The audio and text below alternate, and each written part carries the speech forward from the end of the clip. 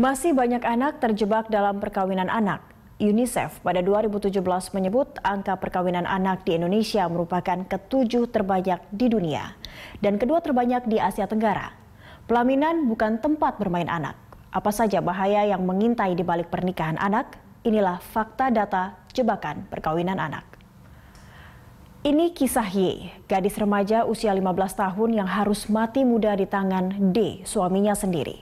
Y dinyatakan meninggal pada Jumat 21 September 2018 pukul 20 di Rumah Sakit Umum Indramayu, Jawa Barat.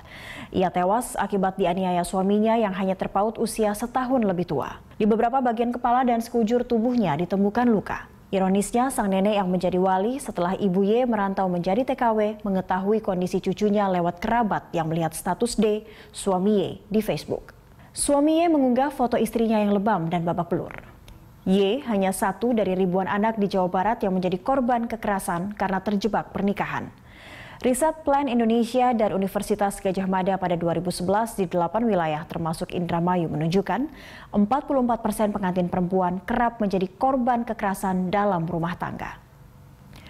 Angka perkawinan anak di Indonesia masih cukup tinggi. Berdasarkan data UNICEF, satu dari sembilan anak perempuan di Indonesia menikah di bawah 18 tahun. Tak heran, dalam laporan UNICEF di 2017, angka perkawinan anak di Indonesia merupakan ketujuh terbanyak di dunia dan kedua terbanyak di Asia Tenggara. Sementara data Komisi Perlindungan Anak Indonesia KPAI pada 2011 sampai 2018 menunjukkan terdapat 101 anak korban pernikahan di bawah umur. Sebanyak 79 di antaranya adalah perempuan. Hingga pertengahan tahun 2018, KPAI mencatat ada 12 korban dari fenomena ini.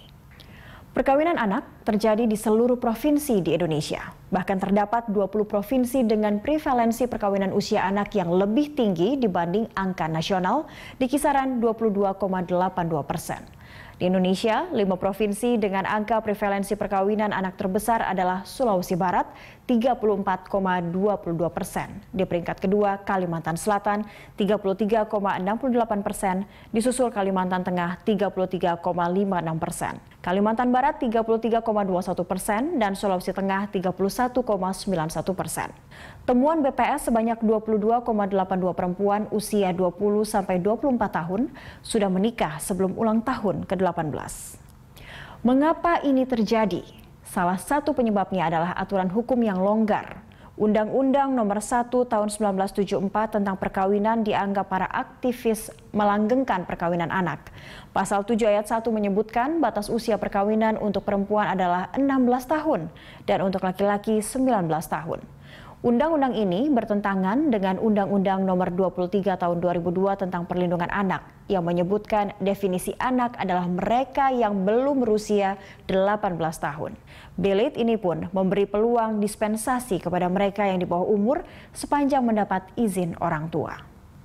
Di kota tempat ia tinggal misalnya, pada tahun 2017 Pengadilan Agama Indramayu memberikan 287 dispensasi pernikahan dini.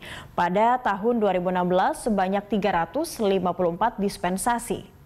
Pemicu pernikahan di bawah umur amat kompleks. Selain aturan hukum yang longgar, ada juga faktor kemiskinan. 59,5 persen perkawinan anak terjadi di keluarga miskin. Korban perkawinan anak tiga kali lebih besar di pedesaan. Kemudian juga ada faktor agama. Di banyak kasus, lingkungan dan keluarga justru cenderung mendorong anak menikah dini dengan alasan untuk menghindari zina. Masih tingginya angka perkawinan anak menunjukkan negara dan orang dewasa gagal melindungi anak. Sejumlah bahaya mengintai di balik perkawinan anak. Di antaranya, partisipasi pendidikan perempuan rendah. Mereka yang menikah di bawah usia 18 tahun empat kali lebih besar peluangnya tidak tamat SMA. Anak perempuan yang menikah dini juga lebih rentan mengalami kekerasan rumah tangga. Belum lagi bicara kesehatan reproduksi. Sebenarnya anak-anak belum siap memiliki anak, baik secara fisik maupun mental. Kehamilan yang terjadi di bawah usia 19 tahun rentan berakhir dengan kematian. Bayi yang dilahirkan juga 1,5 kali lebih rentan mengalami kematian. Dan anak yang dilahirkan cenderung tumbuh dengan diskriminasi. Rata-rata mereka tidak memiliki akte kelahiran hingga tidak mendapatkan hak anak di berbagai bidang. Situasi ini juga menyebabkan peran perempuan di sektor ekonomi rendah. Diperkirakan kerugian ekonomi yang ditimbulkan mencapai 1,7 persen terhadap produk domestik bruto atau PDB.